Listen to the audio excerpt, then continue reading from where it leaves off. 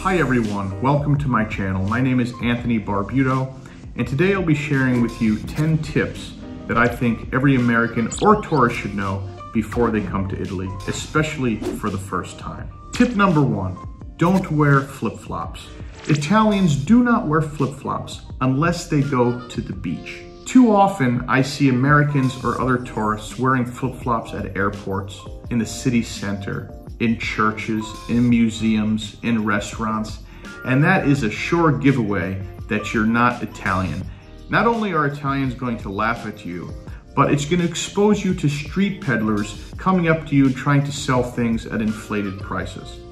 If you want to blend in and do as the Italians do, don't wear flip-flops. Don't be this guy. Tip number two, be fashionable. Italians are generally fashionable people, and being fashionable does not mean that you have to spend a lot of money buying designer clothing. That's not necessary. You can go to Zara and buy fashionable clothing for relatively inexpensive prices. You don't want to wear clothing that are three sizes too large. For sure, that's a giveaway that you are a tourist or American a mile away. Also going to expose you to laughs and to criticism and to street peddlers trying to take advantage of you. Spend a little bit more time thinking about your outfits. Get a nice pair of shoes, a nice belt, some accessories, maybe a scarf or a pocket square, or a beautiful dress if you're a woman. Spend a little more time than usual focusing on your outfits and be fashionable when you come to Italy. Tip number three, don't drink cappuccino and eat a pizza at the same time. Italians do not do that. They think it's gross. Don't do it. I did a TikTok a couple years ago with a popular Italian TikToker and YouTuber where we demonstrated this whole concept. Don't be that guy. Don't eat pizza and drink cappuccino. Do it separately, at least a few hours in between. Tip number four, don't trust that every restaurant in Italy or every bar serves quality food. Too often when I'm walking around in the center, I see Americans or other tourists eating at some corner bar and behaving as if the pizza that they eat or the sandwich that they're eating is the most delicious sandwich or pizza that they've ever tasted. You have to know which restaurants to go. Don't be this guy, but be this guy. Make sure you ask around and choose the restaurant or bar wisely. Tip number five, and this is quite funny, and I always get amused when I see these things, even today. Not all Italian men are gay. And I say that because when I came to Italy for the first time, I too often I saw men kissing each other on the cheek, calling each other beautiful, running their hands through another man's hair, squeezing the cheeks of another man, putting their arm around another man, walking down the street like that. And right away, my reaction was, you know, there's a lot of gay people here. I'm not criticizing gay people, but I just, I perceived it that there were just so many gay people in Italy. But the fact is, that's a very acceptable heterosexual behavior for Italian men to show another Italian man. So the following behavior is perfectly acceptable for two heterosexual men! Tip number six, don't trust all the street vendors and store operators when you're shopping in the center or anywhere else. Italians are prepared to try to sell things to tourists and Americans because tourism is so powerful here in Italy. It's perfectly acceptable unless of course you're in a designer store. It's perfectly acceptable, especially when you're at these outside markets to negotiate. Make sure you negotiate the prices. They're prepared for it. And if in fact you don't negotiate, they're really gonna try to take advantage of you. So make sure you try to knock the price down. You just can't trust the vendors. They're gonna try to take advantage of you, especially if you're wearing flip-flops. Tip number seven, if you go to the beach, it's perfectly acceptable for an, a male to wear Speedos. Most Italian men wear Speedos. I know a lot of places in the United States, for example, men don't typically wear Speedos on the beach, but in Italy, everyone does it and you should wear Speedos when you come to Italy.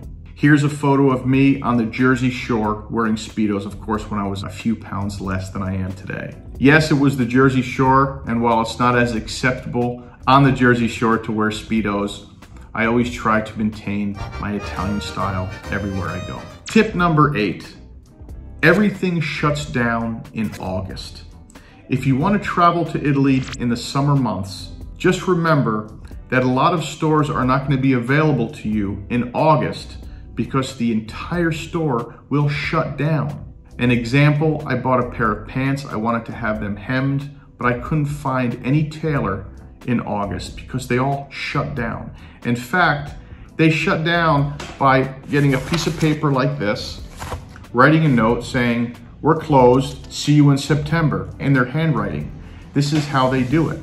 Surely if you go to a big city, they're prepared for tourists, so a lot of things will be open. But you'd be surprised how many stores do shut down, even in the big cities, and certainly in the small cities or the small towns. Therefore, if you're looking to get the best out of Italy in the summer months, go in June or July, or if you can, September. But if you're looking to vacation with Italians and go to the beaches, then August is a good month to come to Italy because all the Italians, they go and spend the whole month at the beach. That's where you can wear your flip-flops and your Speedos. Tip number nine, don't worry about getting medical insurance. You don't have to worry about receiving a medical bill that is astronomical as Americans have to worry about in the United States. As an example, when my daughter was under one, maybe six months old or so. She had a high fever, so we brought her to the hospital. It's a children's hospital right outside Florence. It's very well known to, to treat children. She was there for maybe four hours.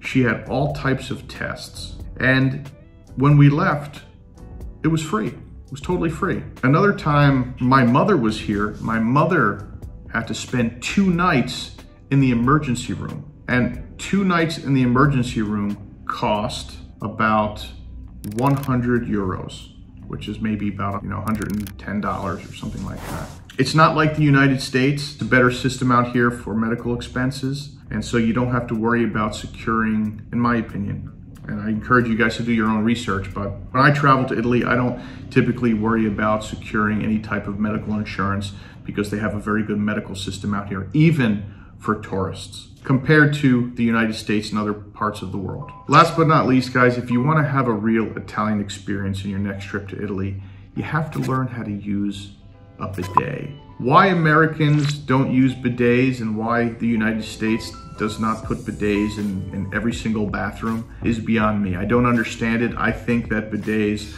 are very important to add to your cleaning regimen. I think that they are very sanitary and I have no idea why, why we, we don't use them. They're certainly a great idea. And I know that they're sold in places in the United States, but Americans just, just haven't caught on to them. I have not been in a bathroom in Italy that does not have a bidet. In fact, here's a funny TikTok video that I did with uh, an Italian friend a couple years ago, showing how Italians are advanced in this area, and uh, it shows him using the bidet.